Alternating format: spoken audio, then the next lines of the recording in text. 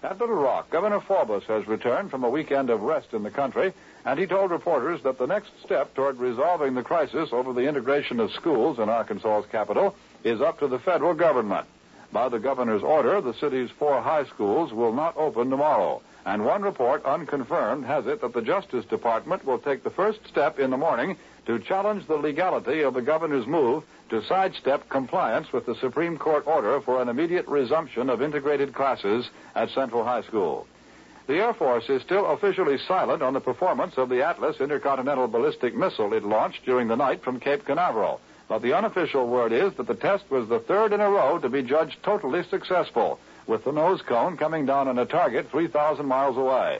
Now the word is the Atlas will get its first all-out test in a few weeks when it will be aimed at a target more than 6,000 miles distant.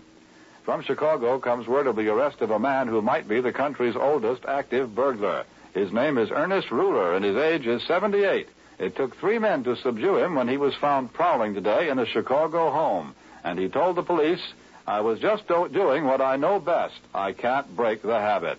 And now a word from Chevrolet.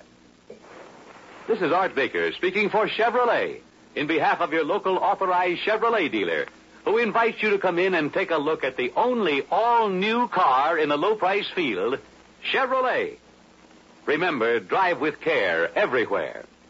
Chevrolet brings you the news 12 times each weekend on CBS Radio. This is the CBS Radio Network. You're tuned to WBT Radio, serving Charlotte and the Carolinas with complete weather information. The weather forecast is generally fair and somewhat warmer tonight and Monday. Partly cloudy and warm with a chance of showers in the extreme west. Present temperature on the WBT thermometer, 76 degrees. 7 o'clock.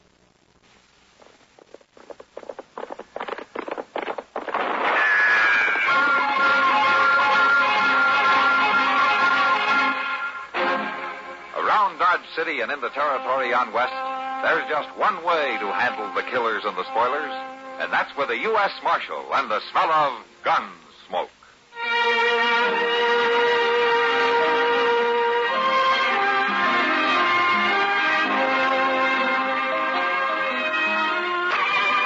Gunsmoke, starring William Conrad. The story of the violence that moved west with young America. And the story of a man who moved with it. I'm that man. Matt Dillon, United States Marshal. The first man they look for and the last they want to meet. It's a chancy job, and it makes a man watchful. And a little lonely.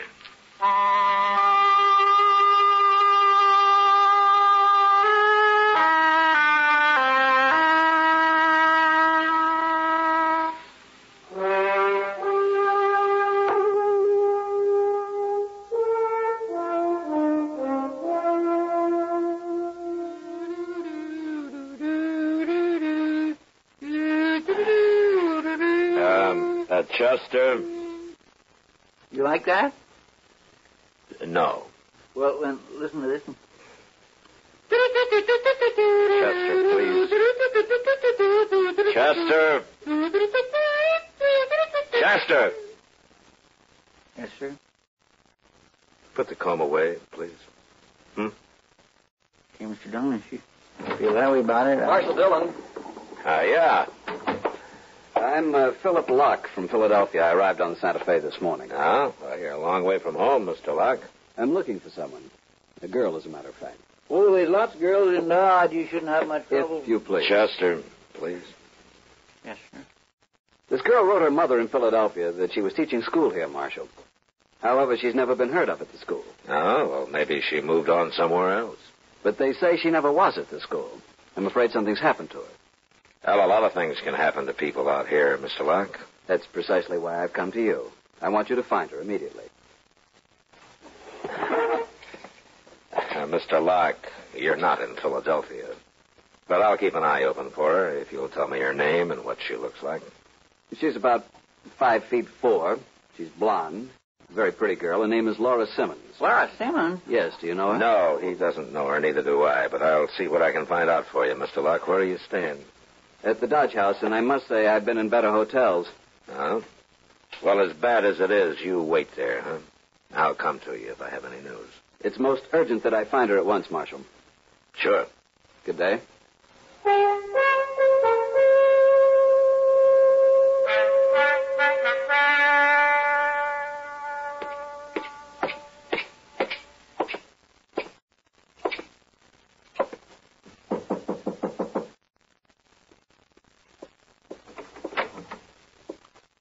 Marshal Dillon. Hello, Laura. Well, come in, Marshal. Come in. Thank you. Hello, Matt. Ah, Kitty. I didn't expect to find you in Laura's room. How'd you know where I live, Marshal? You've never been here before. I asked Sam downstairs. Huh, no wonder he told you. I think Sam's sweet on Laura. Oh, Kitty. Well, I do. Oh, Kitty, Uh, why do you ever do this? Look, you two can gossip about all that later, huh? Right now, I've got some news for you, Laura. You have? Yeah, there's a man here looking for you. Oh, who? His name's Philip Locke. Philip? Dodge? I figured it might be bad news. I can't have him find me here. Well, he went to the schoolhouse first, and then I told him you'd probably moved on, but uh, he still thinks you're here somewhere. Well, I wrote Mother I was teaching at school. He must have gone to see her. Honey, if you don't want to see him, you don't have to. I can't see him. Can't have him know I work in a saloon. It's nothing to be ashamed of. Oh, yes. Yes, it is. Especially now. What do you mean, Laura? Well, I was engaged to Philip once before I left Philadelphia. You were? Yeah, we were about to be married when his family found out that my father had been a riverboat captain. I should have told them before, I guess, but anyway, they called off the wedding, and I was so ashamed I ran away. I came out here finally. What about Philip? What'd he do? The Lockes are a very aristocratic family, Kitty. Guess he had to do what they wanted. Not much of a man, if you ask me. Aristocrat or not. I was in love with him. I think he was with me. Are you still? I don't know. How can I know? He mustn't find me here. This is the sort of life they said I was best suited for. He'd go back and tell my mother, and it'd break her heart. Look, uh, Laura, you, you could go out to Ma Riley's until he leaves town. Huh? I'm sure she'd be glad for a little company. It's a good idea, Matt. Come on, honey. We can ride out together. It's only a few miles. All right, Kitty. Thank you. Matt, you might kind of spook this Philip Locke back to Philadelphia. Well, I'll try, Kitty.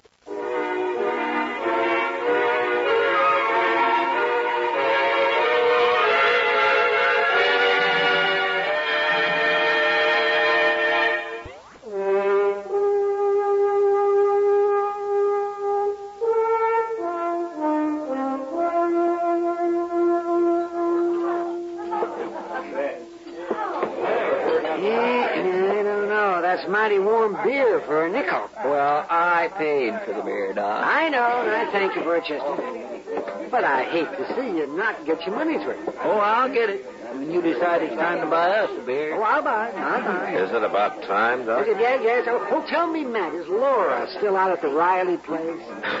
Oh, you're shying away from the problem, Doc, but uh, anyway, yeah, she's there. Locke isn't likely to leave town this soon. I saw him last night, and I told him that I'd heard that Laura had gone to Denver. Yeah, well, did he believe you? I don't think so. But I warned Sam to tell him the same thing in case he came snooping around here. Oh, well, it's a sad story. Poor girl. Yeah, she's better off without the like of him, if you ask me. Yeah. Women are strange, sister. They fall in love, and that's that. I sometimes wonder if it has anything at all to do with a particular man. Of course it has, Doc. I remember what a little Kiowa girl told me one time. She said, Chester, she said. I didn't know you spoke Kiowa, Chester. Well, I don't exactly. We use a, a sign language, kindly. You know. Uh, Uh, hello, Locke. Marshal, I think you lied to me about Laura. Oh, is that so? It most certainly is. There's something mighty strange going on here, and I think you're mixed up in it. Look, maybe Laura doesn't want to see you, huh? Have you thought of that? I'm going to see her if I have to kill you to do it.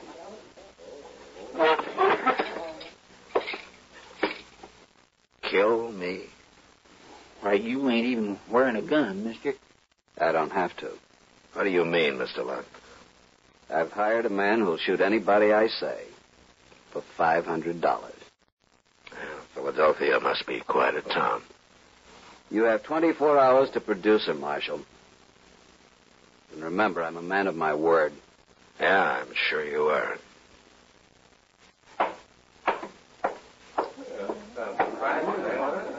Well, of all the nimby nambies. He's probably one of those who hired somebody to fight in the war for him, Doc. It's all he knows. Look, Mr. Dillon. You go over talking to Pete Doolin there at the bar. What? Pete Doolin. So that's his gun. Looks like it. And of all the evil, no good, drunken crooks, he ain't even much of a gunman. No. Yes, I always took Pete Doolin to be a little off in the head. He is, Doc. You never know what Doolin might do. He isn't like other men. And that makes him really dangerous.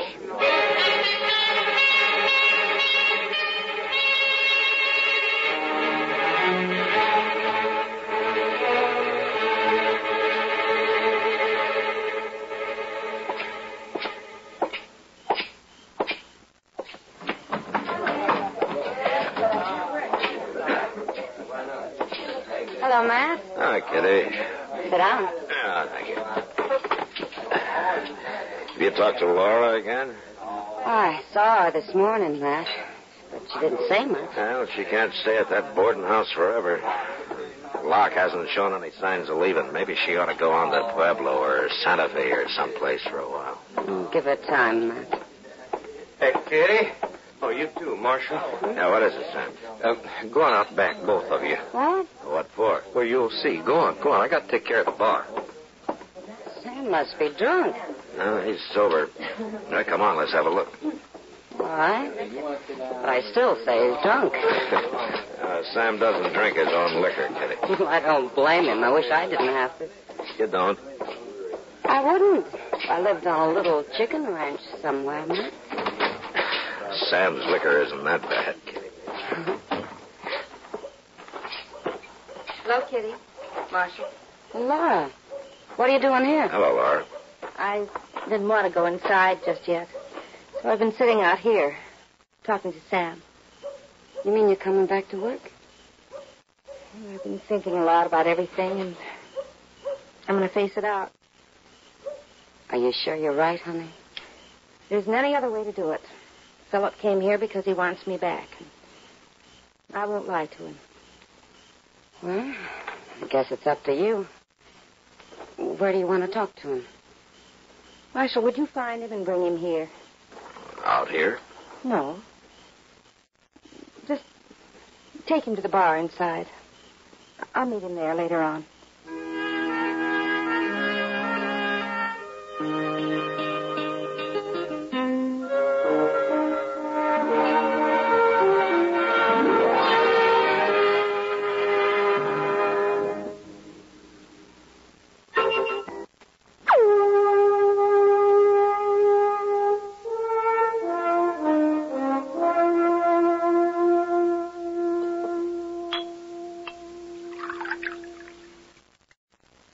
An empty saloon is a curious place to meet Laura. Uh-huh. Hey, you want another drink? No. How about you, Marshal? No, thanks. Hello, Philip. Laura. Laura, that dress. Like it? Why are you dressed like that? If you'll buy me a drink, Philip, I'll tell you. A drink? Of course. This is how I earn my living, so. You work here. Yes. Now, will you buy me a drink to start with? No. Oh, Philip. Never mind him, Laura. He, he don't mean nothing. No. No, Sam. It's just like what his mother said about me. It's true. Philadelphia. What do they know in Philadelphia? Lace on their pants. Here, Laura, have a drink. Thanks, Marshal. I need it.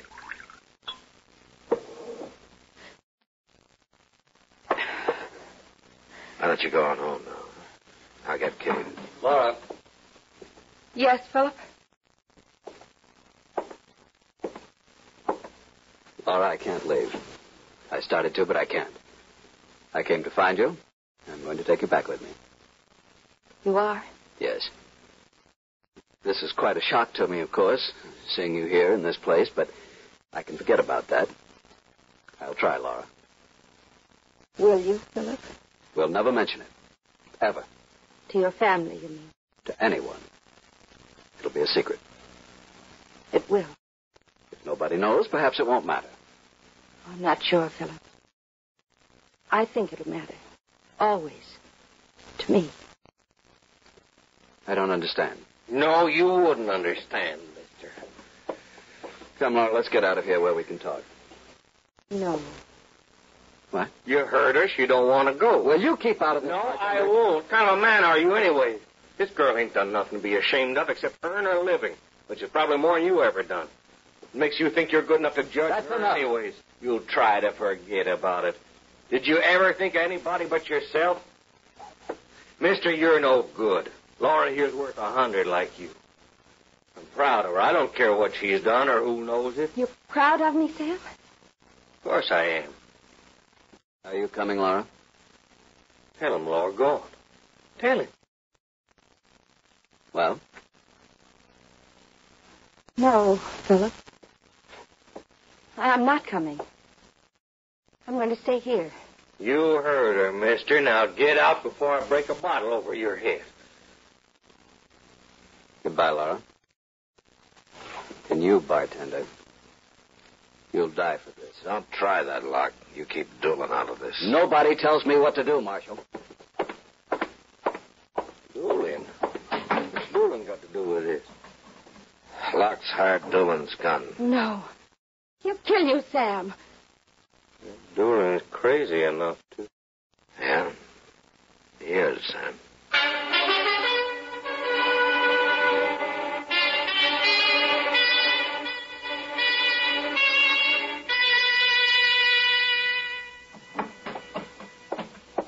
Dillon, Yeah, what is it, Chester? I've been waiting outside, like you said. Why aren't you there now? Because he's coming right up Front Street. Huh? Doolin?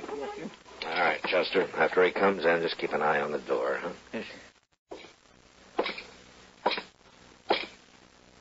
Sam, Doolin's going to be here in a minute. You better get out of sight. Well, I ain't afraid of You You heard me, Sam. Now get out of sight, will you? Okay, Marshal.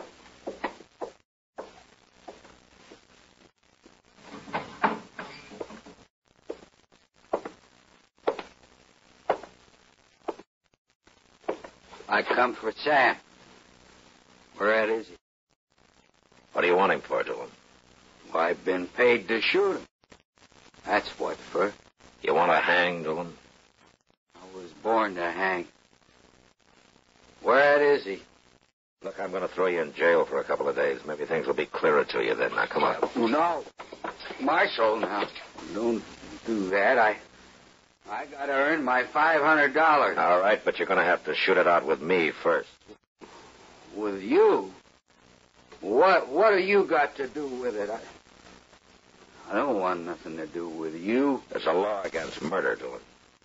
I know that. What makes you think you can shoot Sam and get away with it? I got five hundred dollars right here in my pocket. You want to see it? Doolin, see if you can understand this. Either you take your money and you get out of Dodge, or you're going to jail. I ain't going to jail. You want to draw on me? I'm no fool. Then get out fast. Now go on. Move. You you don't leave a man much choice, Marshal. I'll have to go. Bye.